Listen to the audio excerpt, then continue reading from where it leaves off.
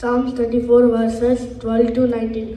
What man is he that desireth life and loveth many days that he may see good? Keep thy tongue from evil and thy lips from and thy lips from speaking guile.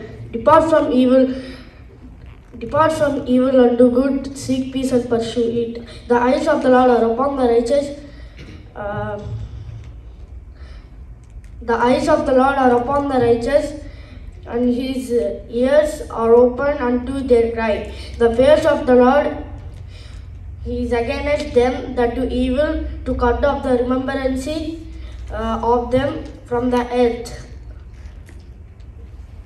The righteous cry, and the Lord heareth and delivereth out of them all their troubles.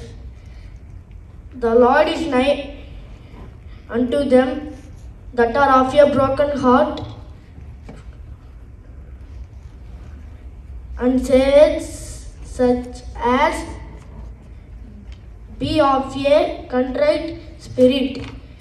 Many are afflictions the righteous, but the Lord delivereth out of them all.